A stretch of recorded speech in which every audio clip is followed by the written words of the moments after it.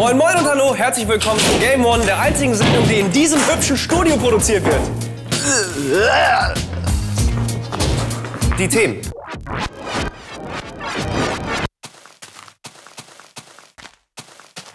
Ja, äh, Entschuldigung bitte, Minecraft, wir, wir haben es einfach verpennt. Es war wirklich keine böse Absicht, da waren nur so viele andere hübschere Spiele. Aber wir machen es auch echt wieder gut, versprochen. Wir präsentieren mit schlechtem Gewissen eines der spannendsten, aber auch seltsamsten Spiele, Minecraft. Schon 2009 hat der schwedische Programmierer Markus Persson sein kleines kreatives Indie-Game der Öffentlichkeit zugänglich gemacht. Aufgrund des großen Erfolgs der kostenlosen Classic-Version kam bald eine 15 Dollar teure Minecraft-Beta-Version und die hat sich mittlerweile über eine Million Mal verkauft. Alle kennen's, alle finden's super und wir schauen jetzt, warum.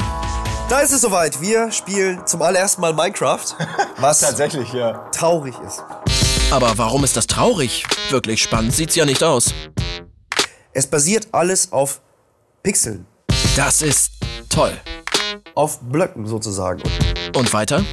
Und diese Blöcke kann man tatsächlich einfach mit linker Maustaste abbauen und damit holt ihr euch eigene Ressourcen. Die könnt ihr wiederum an anderer Stelle aufbauen, ausbauen, so wie ihr es halt möchtet. Also, du könntest jetzt aus der Erde ein Haus bauen. Zum Oder Beispiel. eine Tür. Aha, langsam wird's interessant. So, und jetzt, Simon, was sollen wir bauen? Äh, oh Mann, wir haben 26 braune Blöcke und 22 graue. Das sieht so ein bisschen aus wie unser Game One Studio von Ja, der los. Farbwahl her. Machen wir.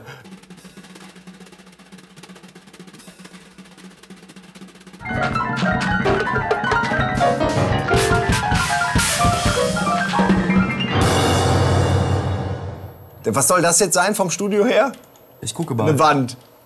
Was man neben einem umgefallenen Tee aus Erde noch alles bauen kann, sieht man, wenn man sich auf die unzähligen Multiplayer-Server begibt.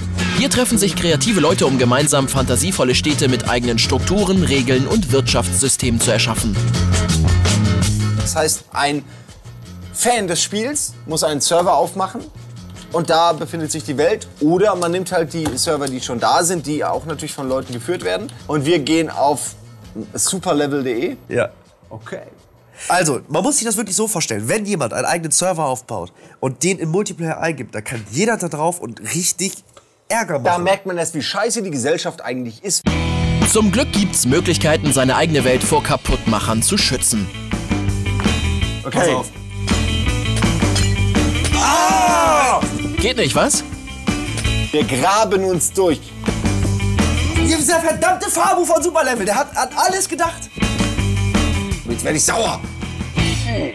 Wir haben quasi mit der Schaufel einmal am Spiel Minecraft gekratzt und haben es aber noch lange nicht abgebaut und haben noch nicht mal ansatzweise kapiert, was man da alles mitmachen kann. Dieses Spiel ist wirklich, wirklich tiefgründig.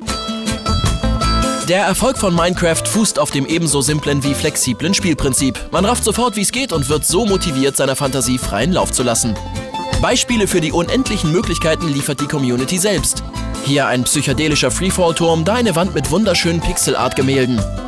Andere bauen den Terminator, die Titanic, eine funktionierende Recheneinheit oder noch viel krassere Sachen. This is a one-to-one scale model of the Starship Enterprise. Wir haben schon viele Kreativspiele gesehen, aber Minecraft ist eines der vielseitigsten. Hier sind der Fantasie keine Grenzen gesetzt.